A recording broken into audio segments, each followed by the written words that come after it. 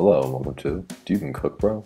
And today I'll be showing you how to make Colorado green chili in honor of the Broncos Super Bowl appearance this week. To get started, I'm going to throw a bunch of different peppers and some tomatillos into a bowl. I'm to coat those with oil and salt and I'm going to roast them.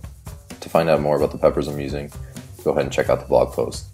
As a hot pepper enthusiast, I'm sure it'll have a lot more information than you really ever desired.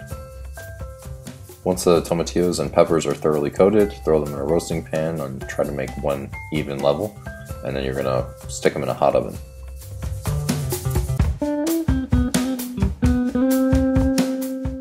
While those roast, we're gonna prep the rest of our ingredients. Dice one large onion, as well as three jalapenos. You can leave the seeds in or you can take them out, it's up to you.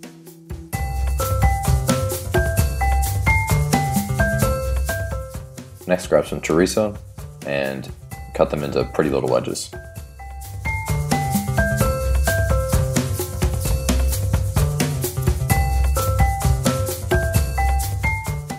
For the penultimate pork product here, we're going to slice bacon into matchstick sized pieces. Once you're done doing that, throw your bacon into a pan over medium heat and crisp it up.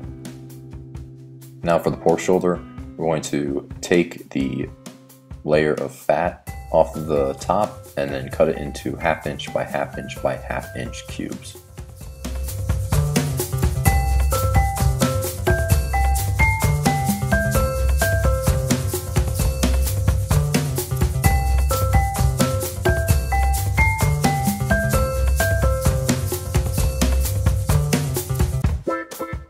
By the time you're finishing up with cutting the pork shoulder, your peppers should be ready to come out of the oven. Cut the tops off the peppers, and you can once again remove the seeds or keep the seeds.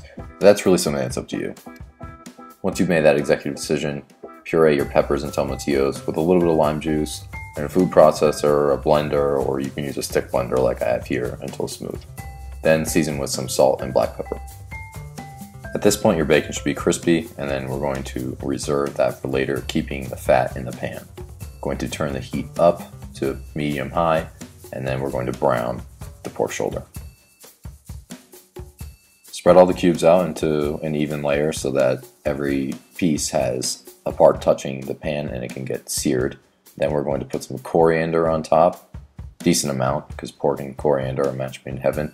Season with some salt, and since it's been about a minute, we're going to stir to coat. Once the pork cubes are covered with the coriander and salt, then just once again let them sit there and sear a little bit and then give it a stir and rearrange them in a layer and let them sear a little bit. And after they're mostly browned all over, we're going to add in the onion and jalapeno that you diced earlier. Once you've given those a good stir, throw in your chorizo, and maybe you guessed this, but stir. Crank up the heat to high, then add cumin, oregano, and green chili powder if you have it. Add in your chicken stock as well as your green chili puree. Make sure you scrape the bottom of the pot while you glaze. This not only makes the pot easier to clean eventually, but it also imparts a lot more flavor into your dish. Go ahead and throw in some bay leaves and 7 cloves of garlic.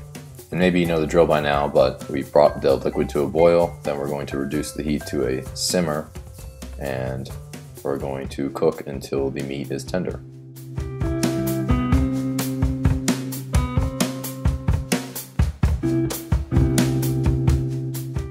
I knew my meat was tender and therefore done because I poked it with a fork and the fork went in easily as well as I also tried it, which is a really good idea.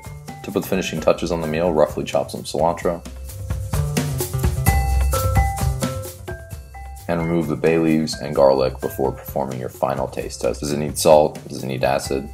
Once you're happy with that, you can turn off the heat and throw in your cilantro. Stir in your pieces and then cover the pot and just let that sit there and the cilantro flavor to soak in a little bit while you grab the rest of the fixing, the sour cream, salsa, that kind of stuff. One of the best things about green chili is all the different ways you can eat it on a bed of rice. You can put it in empanada like I'm going to show later for a Super Bowl appetizer idea, or you can do my favorite application, which is a big fat burrito. Anyway, give this recipe a try. Enjoy!